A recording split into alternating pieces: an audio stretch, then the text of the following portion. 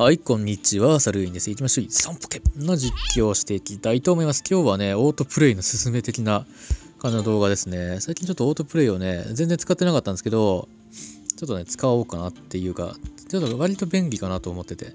で、本当はね、あのー、なんていうのかな。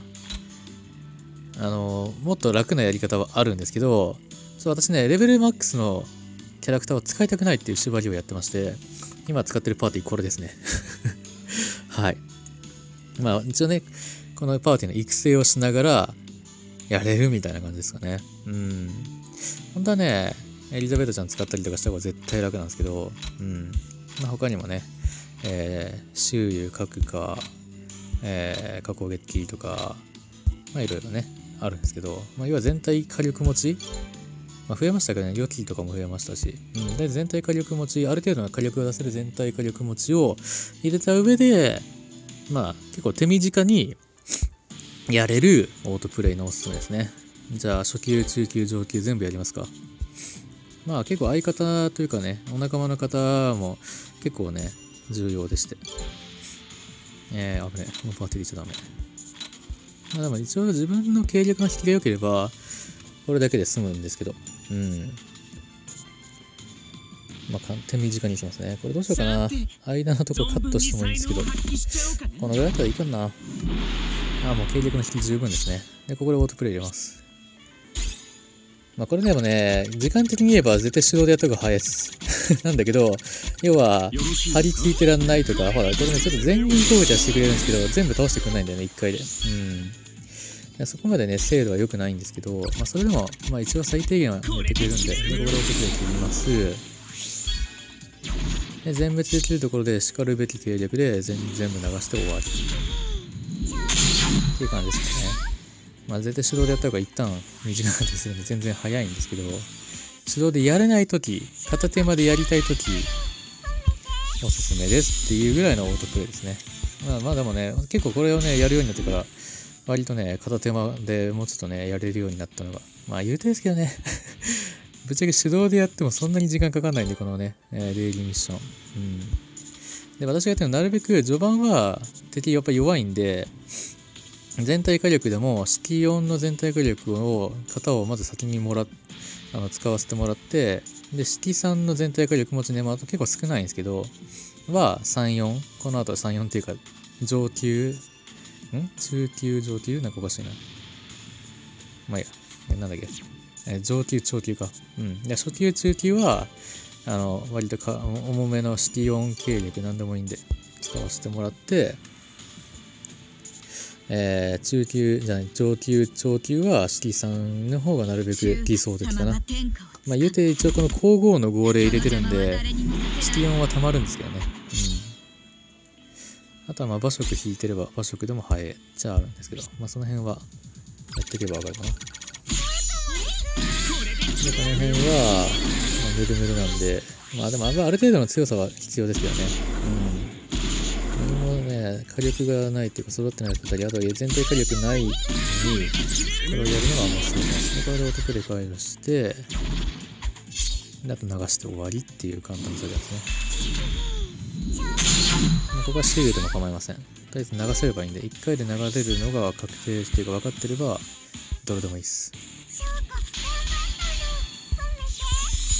で、ザクッと終わりにして、で、これで中継終わり、もらももらいます。で、この後上級ですね。上級はなるべく式んの人の方がいいかもしれないですね。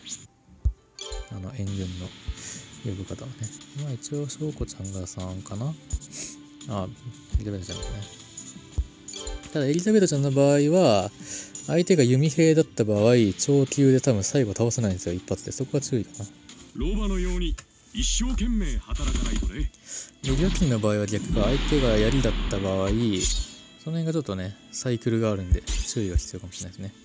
あの、ダメ系、視力ダメージじゃないやつはね。う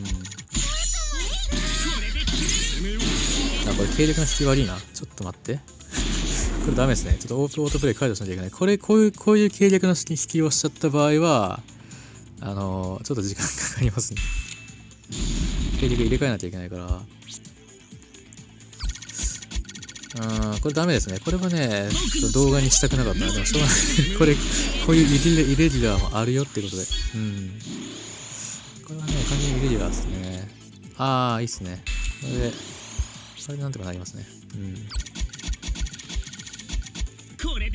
とりあえずね、全体火力、最後、最後を流せる全体火力引かなきゃいけないんで、あ、これオートプレイ返しになります。で、結局2ターンかかるから、あ、2ターン、お、お、あ、すいません。これ、これはミス。教育すると、知力上がってるから流せちゃいましたね。これは完全にミスですね。だったらこれ、皇后の号令打っといた方が良かったですね。いや、まさかそうか、終わっちゃうんだね。これはね、完全にミスですね。全然オートプレイの進めできなかったな。正月にまだ知力上がっていくかな。なんならワンチャンここまで来たら中途半端だけど、馬食を使ったテクニック。でもテクニックにならないですね。多分これ、多分倒せない、多分倒せないんで、倒せないですね。正月に私はまあ育成してないせいもあるんですけど、弱いっす。まあでも多分ね、正月にはちゃんと育成すると強いっす。よろしいですか？これはね、これダメですね。なんならなんならもうちょっとカットして別のやつを差し替えたい。まあでもこういうパターンもあるっていう、まあ、今のはでも完全に私がミスですね。三あのあそこで流しちゃダメなんですよ。あそこはね、あそこは削って、うん。で、倒して最後に式音を貯めてバーンって流すみたいな感じが理想なんですけど、ちょっとね、あの、教育が思った以上に強かったです。はい。ここは式3経力もらえますか。あ、でも倒せないかな。これわかんないですね。翔子ちゃん微妙か。翔子ちゃんは多分ね、わかんない。私の翔子ちゃんより火力があれば流してくれそうなんですけど、ちょっと怪しいですね。できればやっぱエリザベートちゃんとかの方がいいですね、資産計略でも。よろしいですか？うん。まあ、なんなら資金計略。まあ私が今これもう、今、長春華さん聞いてるんで、これもう全く問題ないですね。これもう理想的。このまま入れます。まあ、これを見せられればいいか。まあ、長級と上級は基本的にやることはあんま変わんないんで。いや、でもやっぱ時間かかるね。しょうがないですけど。うん。ここはさすがに倒してくれるよね、全部倒せるかな？ううわ、やっぱ倒せなかったよね。知ってた。やっぱその辺の調整もしてくれないんだよね。くっそ時間かかるな、これ。まあ置いといて、なんかほんとご飯食べながらとか、なんかやりながらだったらね、あの全面攻撃ができるようにはなりますよね。そこは多分精度が上がっている。で、これをオートプレイ解除して、ゲーセンの儀式打ちます。で、削ります。これ全部落ちないんで。で、ここは次でワンパンで倒せるんで、まあ、今、馬食も引いてるんですけど、これ、交互の号で打っていくと、ここで全部倒した場合、式4次溜まるんですよ。なんで最後に、えー、微笑を打って、全滅打って、おい おい今の説明した甲斐がないっていうね。もうここはそのまま全滅してよかったね。これでもう式4溜まるからね、この時点で。うん、ここはね、もう一回で全部倒してほしかったな攻めようあ待って、今、もう一ターンかかるんだけど。さすが。うん。まあ、言ったらこうやってちょっともう張り付いてる時は手動でやった方が圧倒的に早いんで、あれなんですけど、本当何かやりながら、とかする時のね、オートプレイの進めですから、あくまで。まあ別にね、ある程度時間かかっても構わないっていうかね。で、これで、そこで式決めなさ4貯めといて、バーンみたいな。まあ、本当は なんだったか手動で、手動の進めを先に出した方がいいんじゃないかっていう。まあいいでしょう。いやちょっとね、時間かかっちゃいますけどね、これね。本当だから片手までややるときのオートプレイの進めなんでね。まあ、なんなら別に、あの、本当間に式3とか式4の全体火力バーンってやらなくても、ただ置いとくだけで、まあ、ある程度の強さがあれば、オートプレイでこの型にクリアしてくれてるよっていうのでもいいかもしれないですけどね、ぶっちゃけね。うん、中途半端に張り付く必要はないじゃないんですけど。うん。まあまあまあまあ。ああ、そうか、昨日はログイン損ねたっぽいからな。450日ログイン。だ多分、今一番ずっと多分、ミスなくログインできてる人は421日になってるかな、多分ここが下が。400、今私419ですけど。うん。多分私ね、これ、このミスノーマルミッション追加されてから多分、2日ぐらい、2日かな、ログインし損ねてる日があると思いますね。うん。朝一ログインしたかちょっと覚えてないですよね。だから最近朝一ログインあんまできてない気がするんですよね。だいたい5時過ぎに毎日ログインしようってやってたんですけど、なんかね、ここ最近ちょっとあれなんですよね。うん、あんまりやれてないというか。あ、そうだ。前回の動画でやり忘れたことやっとこう。キルダ交換で、まあこのカーディと、お買い上げありがと武将が切り替わったんですからね。お買い押さえていきましょう。はい、KI 攻撃。お買い上げありがとうございまあ、とりあえず1回でいいかな。うん。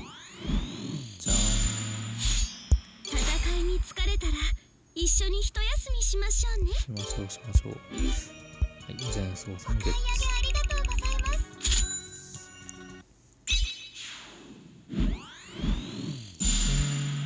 すそうか美しいこの僕を求めるんだねうんうん。なんでですね、あとが、対戦ポイントガチャもやっちゃいますか。うん。しばらくネタには困らないですからね。鬼級やったりとかもできるし。で、宝珠がカツカツになってきてるんで、なんとかしたいんですけどね、これはどうにもなんないですね。課金せざるを得ないかもしれない。まあ、悩ましいね、そこは。課金するのは三国志大戦課金をした方がゲフンゲフンって気がするんで、まあ、その辺は。ヒールからのわかんないよ。昇格する可能性がある。右上にスキップがあるかどうか注目していただきたい。きたー昇格します。まあまあまあまあ。まあ別に星、あ、星2以下は終わっちゃったから、星3以下、あ、でもいいんだ。これはこれで手に入った方が、3ポケバンの方に使えるからね。まあ、絆を。持ってた。あー、リクソンかー。リクソンそんな引いてんだね。星3がまだ終わってないですよ。諸葛金とか諸葛金とか諸葛金とか。いいか終わった。この間終わったばっかだよね。きたー諸葛金とか諸葛金とか4。まだまだ先は長い。ジョイさん終わってるね。あ、バズニーが終わったんだよね。シャーマーカも終わってる。ノータスも終わってるね。残念。まあいいでしょう。はい。悪くはないです。はい、そんな感じで。結構追加部署効かないですね。まあしょうがない。種類増えちゃったから、この辺はしょうがないかなと。はい、というわけでじゃあこんな感じですね。ちょっとまああんまりオートプレイの良さを見せられなかった気はするんですけど、まあなんだかんだで、うん、忙しい時とか何かやりながら片手までやっとこうかなって置いとく分にはオートプレイするの全然ありだなって、ここ最近今更だけど気づいた次第ですね。多分本来なら多分オートプレイってそういう使い方なのかもしれない。うん。多分ね。特にこうやって終わってるとこ、星集めとか、あ、でもさ、これ、あれか。星集めこれ毎回全部やらなきゃいけないのか。